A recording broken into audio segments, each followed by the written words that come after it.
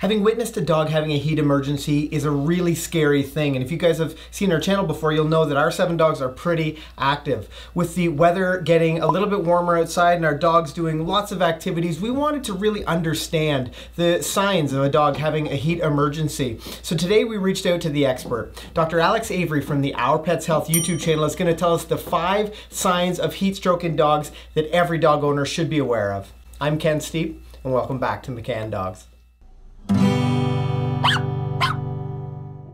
Hi, if we've not met before, I'm Dr. Alex from ourpetshealth.com and the YouTube channel Our Pets Health, where my aim is to provide pet owners with the information that they need to help make informed health decisions so that their dogs and cats can live healthier, happier lives.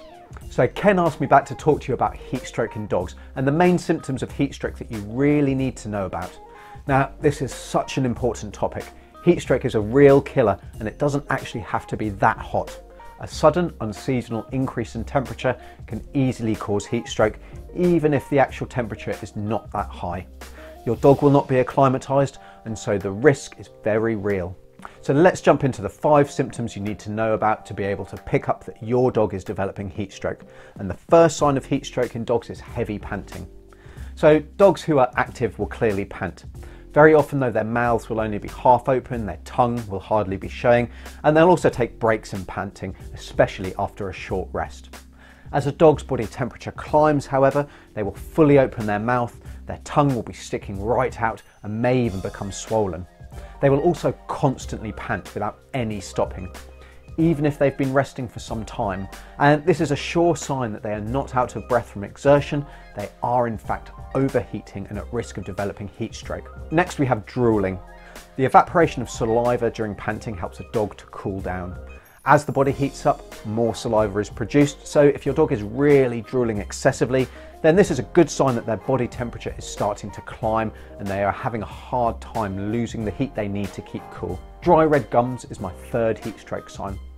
When heat stroke is developing, all of the blood vessels on the outside of your dog will open up and dilate to try and encourage as much blood to come to the surface so that they lose as much heat as possible.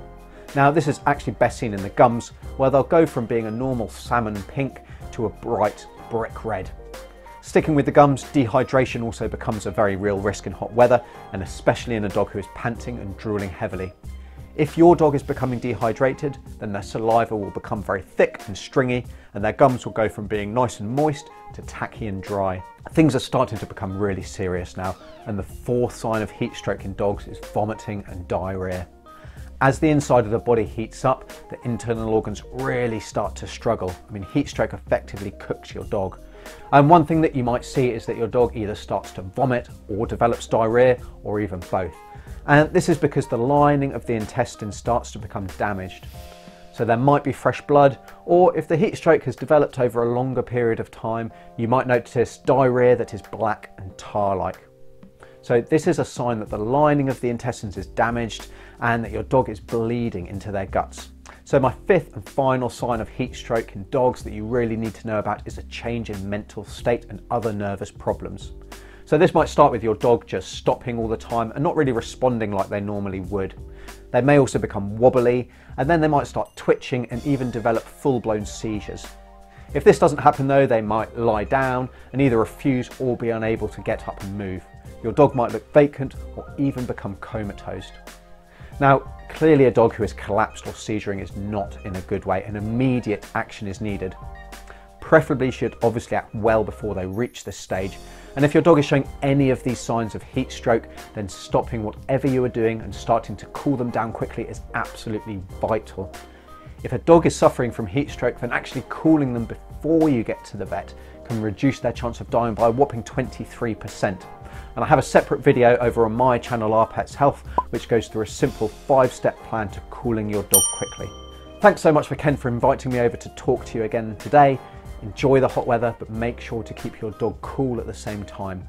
And until next time, I'm Dr. Alex from Our Pets Health, helping you and your pet to live a healthier, happier life.